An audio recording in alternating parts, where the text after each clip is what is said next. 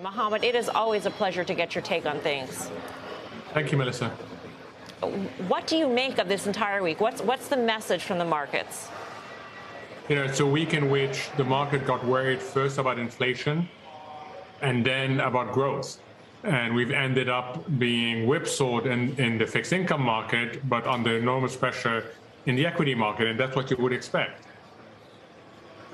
in terms of the moves that we've seen, we've some, seen some pretty extraordinary moves, not just on the equity side, but specifically in fixed income. Also in the credit side, we saw junk bonds, a spread go above 500 basis points for the first time since I think 2000, Mohamed. So how do you interpret all of that in terms of the potential stresses the markets could be facing? So I think we've realized that inflation is such a problem that this Fed is going to tighten significantly. We've also realized that other central banks are going to join in. So we are pricing in a significant tightening of financial conditions globally. That was very clear this week. And then we went to the next step, which makes sense, which is what about the economy? And now, not only did we have interest and inflation rate risk, but we have credit risk being priced in as well. And that's why you saw what you saw in the bond market, especially the most vulnerable segment of the, of the, of the corporate bond market. In terms of junk and in terms of um, some of the zombie companies out there, Mohamed, I mean, there are so many, there's a whole cadre of companies that got financed at, at free money, basically, free cost of capital. Should we be concerned about that?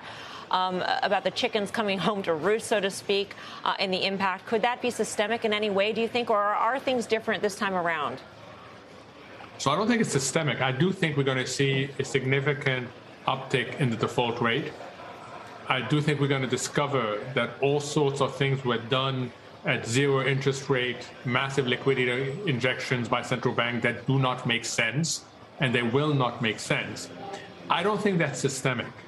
What is systemic, however, is that we get a global slowdown that produces further complication on this inflation growth um, tug of war.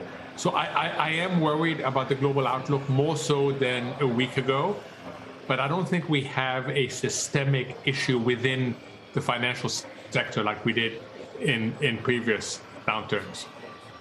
Just to home in on that notion, Mohamed, about the, the further complications, because everybody around the world is, is, tightening at this point, practically, except for China, I guess.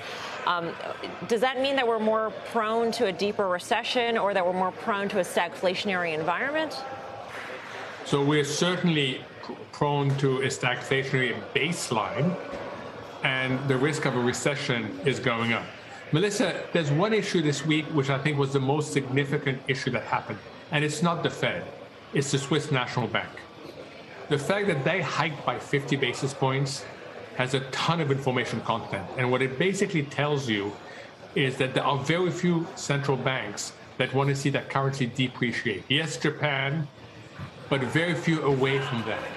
And what that tells you is that this tightening is going to feed onto itself because central banks are going to want to avoid more imported inflation. So they're going to try to protect their currencies by hiking. And that means we're going to get an even bigger global hiking cycle than we would have otherwise.